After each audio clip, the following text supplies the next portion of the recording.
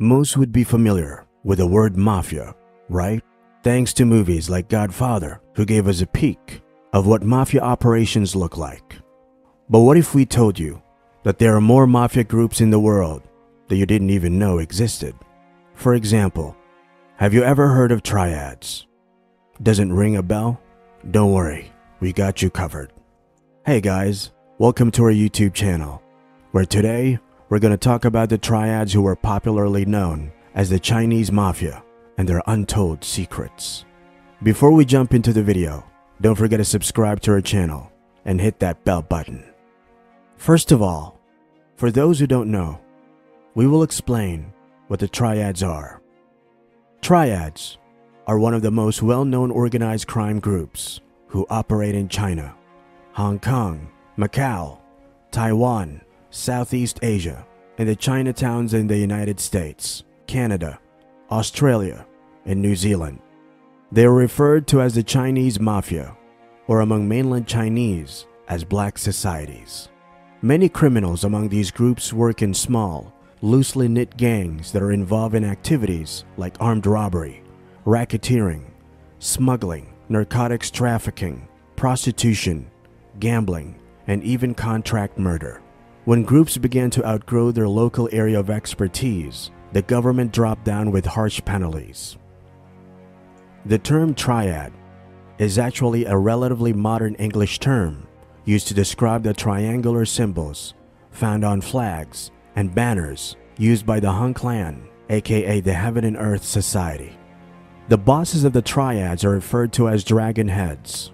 The triads control an empire worth many billions of dollars. The largest and most powerful triad, Sun Yee On, has almost 40,000 members.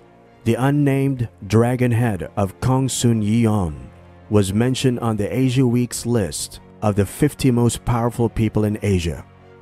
History refers to these triads as centuries old secret societies that date back to 1000 BC, back from a time when peasants were preyed on by their evil leaders and formed self-help groups in order to protect themselves.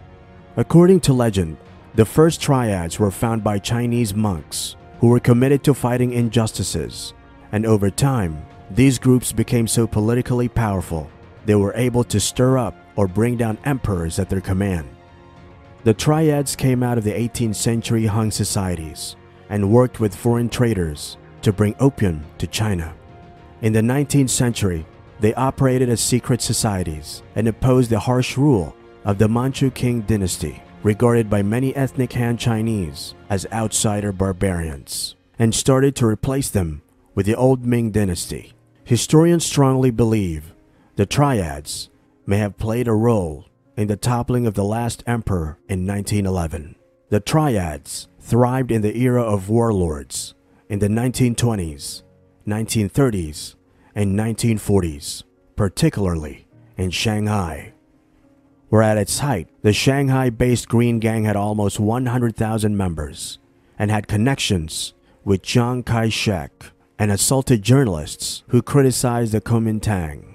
Some gangs are even said to have helped the Kuomintang nationalists fight against the Japanese during World War II, and the rest is said to have become gangs of criminals that raged the Chinese countryside.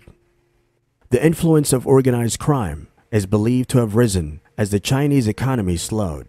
Organized crime has since grown in China thanks to factors including growing inequality, economic liberalization, increasing migration, and official corruption, people trafficking, drug smuggling, illegal gambling, and extortion have been their most profitable deals. A Public Security Bureau official told China Daily, last year, the gang-related crimes have become a threat to social stability in the economy. He also stated that murder, rape, robbery, kidnapping, assault, and they dare do anything. One indication of their power and presence in China is the increasing rate of bound and gagged bodies that are pulled from rivers and Chinese waterways. Once the worst gang in Henan province roamed the countryside and were left unchecked for 13 months. They ended up robbing farmhouses and killing 76 people. Seven members, including its leader Peng Miaojin of the gang, who personally cut the throat of over 40 victims, were captured finally and executed in December 1999, but the damage was already done. The most interesting fact is that some gangs even have close relations with the police, and some are even actually run by the police. 10 members of a police run gang in Inner Mongolia were sentenced to up to 20 years in prison for robbery, rape, gambling, and bribery in March 2007. The accused gang had been active for more than 10 years.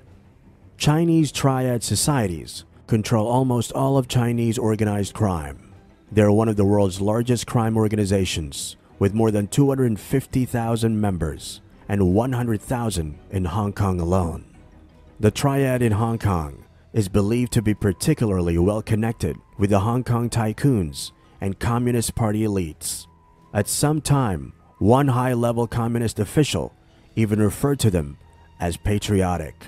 The second and third largest triads, respectively, are Wo Shing Wo and 14K. The 14 stands for the road number of a former headquarters, and K stands for Kowloon. One of Shanghai's most notorious criminals was Shanghai Du Yuesheng, also known as the Big Ear Du, who was a former sweet potato vendor who started his life of crime as a policeman collecting protection money from opium traders. As the head of the gang that controlled Shanghai opium trade, Big Ear Du reportedly funneled over $20 million a year to French authorities, who in return allowed him to run his operation undisturbed in the French concession. By the 1930s, Du even became so influential that Chiang Kai shek put him in charge of the Bureau of Opium Suppression. Never one to be complacent, he lived in a house which had a secret trap door that could be used for a quick escape. After the communists took over in 1949, Mao was able to quickly break the mainland triad power. As a result, many triad members fled to Hong Kong and Taiwan, and also North America and Europe. Petty criminal offenses done by the triads were on the rise in Hong Kong in the late 1990s. Officials blame high unemployment rates and a lack of jobs for their high rise in Hong Kong. It is estimated that there are almost 50 triad gangs in Hong Kong, the triads have been active in Hong Kong almost since the inception. They were mainly engaged in the local opium trade and helped and were assisted by the corrupt British police force. Corruption was so entrenched in Hong Kong that half the police force was dismissed for accepting bribes in 1898. The British rained down on the triads in Hong Kong in an aggressive anti corruption campaign, which were held in the 1970s sharply stopping the influence of the triads on the police and the civil service. The triads are no longer powerful as they were in Hong Kong. In 1997, it was estimated that only 5 to 10% of the crimes in Hong Kong were triad related. After the crackdown they had in Hong Kong, the triads moved their operations across the border into southern Chinese provinces such as Guangdong, Fujian, Guangxi, and into Macau. The triads have done well in the freewheeling capitalism of China, but it is hard to gauge how well they operate because they do it quietly behind the scenes. It is still said that they are involved in bribery, extortion, prostitution, smuggling, and are also involved in shady real estate and stock market deals. Even though the triads have traditionally made their money through drug trafficking, loan sharking, prostitution, and so on, in recent years, they have been moving more into credit card frauds, call girl services, CD pirating computer, and software. At some point, the Hong Kong Triad members also started extorting money from rich businessmen and doing contract murders, although most members are now small time crooks who sell drugs and pornography on streets. Between the year of 1945 and 2000, more than 700,000 Triad members were reported to have been arrested for a variety of crimes. The Hong Kong Triads have been reported to have forged a large number of credit cards using info stolen from cardholders in Canada, the United States, and Europe by installing recorders on credit card terminals in stores. In some cases, store clerks were even bribed in order to get the information. Many leaders in Hong Kong are believed to have met with the representatives of the triads to receive some help from them. Deng Xiaoping once said, There are many good guys among them, by referring to them. The triads also played a crucial role in Operation Yellow Bird, which was a network that helped to smuggle pro democracy dissidents out of China after the Tiananmen Square in 1989. But no one is sure whether the triads were involved in the operation out of concern for the pro democracy movement or simply for the money. When asked about the future of the triads, one crime official said that while certainly some criminals will move overseas, the majority will most probably not because of various reasons like inability to severe family ties or because they simply lack the financial support required to resettle. Most recently, the triads are believed to have set up allegiances with the organized crimes groups in the former Soviet Union and develop logic bombs, which are encrypted algorithms that prevent outsiders from accessing their computer systems. Before you leave, don't forget to click that like button and share your thoughts in the comments. See you in the next video.